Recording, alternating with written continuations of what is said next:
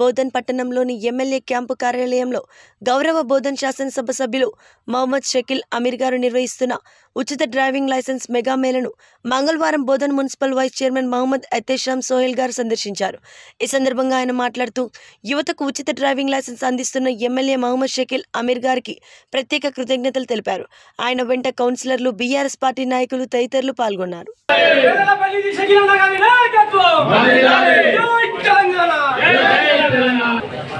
అందరికీ నమస్కారం అందరు స్టూడెంట్స్ కానివ్వండి ఎవరైనా కానివ్వండి ఎమ్మెల్యే గారు చేస్తున్న ఈ మంచి కార్యక్రమంలో అందరూ నాకు అంత తెలుగు రాదు నేను హిందీలో కొంచెం చెప్తాను मेरी रिक्वेस्ट है पूरे बोधन कॉन्स्टिट्यूंसी के यूथ से और बड़े लोग भी जिसके पास लाइसेंस नहीं है एमएलए साहब की जाने से जो ये प्रोग्राम रखा गया है फ्री लाइसेंस मिला आप लोग सब लोग मिलके इसको जो है सो यूजफुल कर कर लीजिए और अपने अपने लाइसेंस बना लीजिए। और जो है सो लाइसेंस ज़रूरी है सबके लिए। विदाउट लाइसेंस गाड़ी चलाना एक क्राइम है।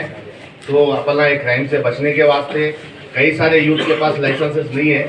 इसलिए ये सोच के एमएलए शकील अहमद साहब ये प्रोग्राम रखे हैं। और मैं तमाम बोधन कॉन्स्टिटेंसी के तमाम यूथ जितने भी यूथ है सबसे रिक्वेस्ट करता हूँ आप लोग सब इस चीज़ को जो है इसका फ़ायदा उठाइए आके अपने अपने लाइसेंस बना लीजिए। जय तेलंगाना जय शकील भाई।